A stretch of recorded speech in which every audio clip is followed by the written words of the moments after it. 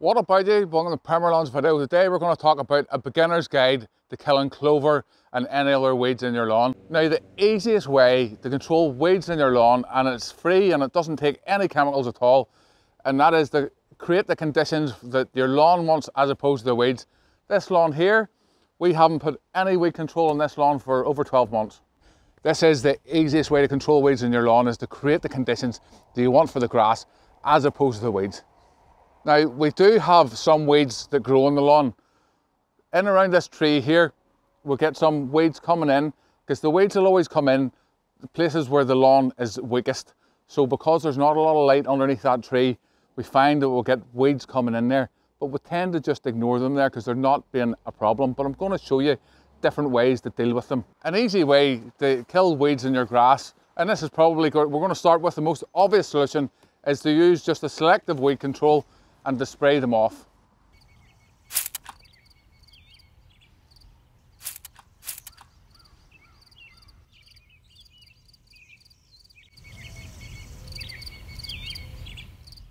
If you're enjoying this video, if you could smash that like button for me, subscribe for more videos like this. I post regular lawn care tips and tricks on bringing your lawn to the next level.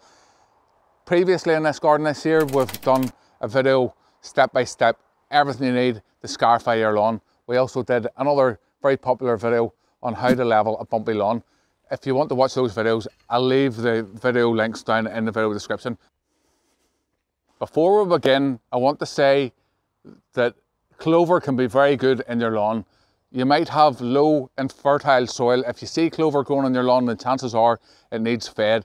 What clover does is it pulls nitrogen literally out of the air and it breaks it down and it puts it out its root system. It puts out protein for other plants to grow and it creates chlorophyll that plants need for photosynthesis. But if you're watching this video, chances are you don't really want to, to know any of that. You just want to know how to control it. So let's get on with that now. Here's a method that your granny might have used. Now, some people would use vinegar and they might mix it up with some dishwasher soap. I'm going to give you two really good reasons why you shouldn't use it and a product that you should use instead that works off the same basis. Vinegar works as it is very acidic and it literally burns the leaves. But the problem with the vinegar is it doesn't burn right down to the roots. It only kills the top of the plant. And then after a few weeks, the roots start to grow and the plant grows and it comes back. And a month later, you've got the weeds back again. Second problem being this stuff here. This is what I'd put on my fish and chips. It's not going to be strong enough. You'll see a lot of people recommending 20 or 30% industrial strength vinegar. The problem with that is it causes skin irritations if you get it in your hands, if you get it in your eyes, you can go blind. Is it really worth going blind just to kill a few weeds? I don't think it is. Now, if you want to go down the road of acidic, a product that we use every spring You'll see me using the channel. It's called Lawn Sand. Really easy to apply. It does three things. It'll kill the moss, feed the lawn, and it'll also do the same thing as what the vinegar does, and it burns the top of the weeds. Far, far better, easier to use. So if you want to burn the weeds with something acidic, use the sulfate of iron. Okay, I get a lot of questions. Anytime I say about killing clover in your lawn, people are saying, look, it's really, really good for the bees, and it is if you want wildlife in your lawn, a bit of clover doesn't go amiss. You can eat it as well. Mm, tasty, sweet. So you can put it in your salads. It doesn't mind being cut short, so that can work for you and against you. If you're cutting your grass all the time, you have clover in it, cutting your lawn, you're not gonna you're not gonna damage the clover. If you come to a dry spell, the clover stays nice and green. But I appreciate you're all here not to find out the benefits behind clover, you want to find out how to get rid of it. So let's get on with it.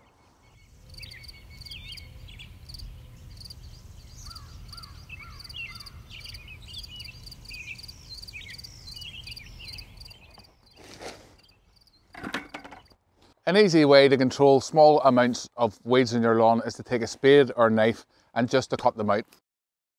So for smaller weeds like that one there, I'm just going to take a knife and dig it out. Obviously the downside to doing this is that you're putting holes in the lawn you have the potential of more weeds coming in if you don't fix those patches. So I'm going to show you a really quick, easy way to fix those patches. Otherwise, you'll find that you might get other weeds growing there in a very short space of time.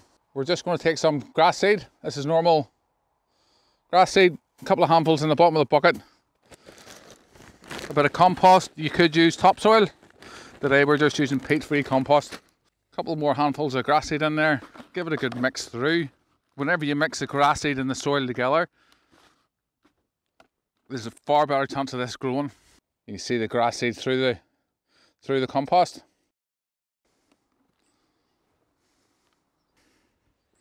Your feet is enough pressure to dump that in.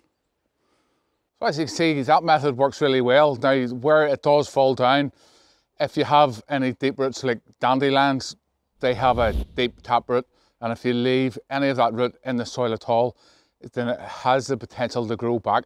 So the next method I'm going to show you is 100% surefire way of killing weeds. Now just before going any further, just been leaning on this mat here. I'll leave a, a link down in the comment. I'll leave a link down in the description where you can pick one of these here up.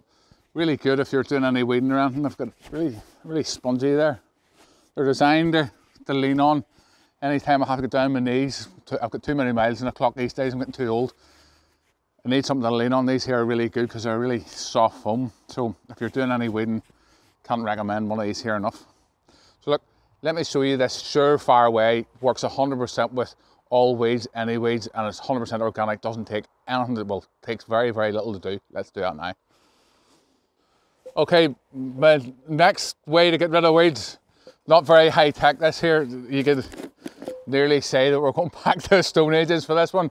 So it's all it involves is blocking out the light. So say for example you have a dandelion, I'm to be doing on a daisy here, but say for example you have a dandelion, it has that big taproot on it. So if you dig, as we discussed, if you dig out the, the weed and you leave a bit there, then there's a good chance that the weed's going to regrow. So the best thing to do is just to block out the light. That involves putting a plant pot or something similar on top of it. Okay, so there's obviously a downside to this method. That plant pot's not very big, and if you have a big square section or you have a big section of weeds, well then that's not really gonna do it. So I'm gonna show you another trick. That's where stones and our plastic come in.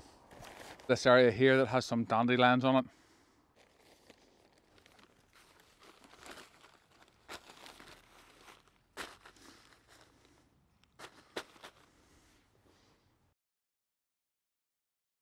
This is a section of lawn that we fixed on how to fix a bumpy lawn. If you want to watch that video, make sure to watch it here and I'll see you there next.